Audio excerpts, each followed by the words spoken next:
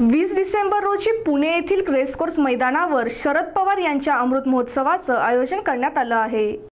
जनसामान्याच्या हृदयातील आदरणीय व्यक्तिमत्व आपल्या विचारांची आणि कर्तृत्वाची महाराष्ट्रातून नव्हे तर संपूर्ण भारतभर छाप असलेला राजकारणीय बहुआयामी सर्वव्यापी असे महाराष्ट्रातील लाभलेले वरदान म्हणजे माननीय शरदचंद्रजी पवार यांच्या अमृत महोत्सवानिमित्त त्यांच्या सार्वजनिक जीवनातील कर्तृत्वाविषयी या कृतज्ञाला व्यक्त करण्यासाठी वीस डिसेंबर रोजी पुणे येथील रेसकोर्स मैदान सोलापूर रस्ता येथे अमृत महोत्सव सोहळ्याचं आयोजन करण्यात आले आहे. या कृत कृतज्ञ सोहळ्याला औरंगाबाद येथून राष्ट्रवादी काँग्रेसचे बहुसंख्याने कार्यकर्त्यांना घेऊन राष्ट्रवादी काँग्रेसचे आमदार भाऊसाहेब चिकटगावकर जाणार असल्याचे त्यांनी म्हटले आहे.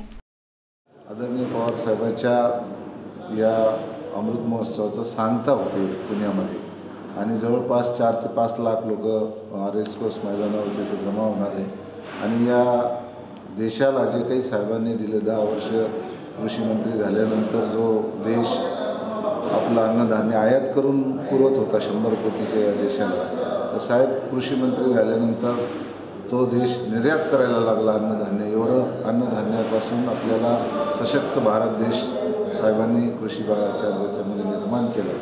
अशा साहेबांचा अमृत महोत्सव होत असताना लाखो लोकांचं उद्या शुभेच्छा त्यांना देण्याकरता राष्ट्रवादी काँग्रेस पक्षाचे कार्यकर्ते तिथे जमा होणार आहे आजही आम्ही जिल्हा राष्ट्रवादी काँग्रेस पक्षाच्या वतीने बैठक घेऊन पूर्ण जिल्हाभर राष्ट्रवादी काँग्रेसच्या वतीने चारशे ते पाचशे जीप आम्ही सगळे मिळून पुण्याला जात आहे आणि पुण्याला जाऊन राष्ट्रवादी काँग्रेसच्या वैजापूर तालुक्याच्या गंगापूर तालुक्याच्या पैठण तालुक्याच्या सोयगाव तालुक्याचा सिल्लोड तालुक्याचा खुलदाबाद तालुक्याच्या वतीने साहेबांना कोटी कोटी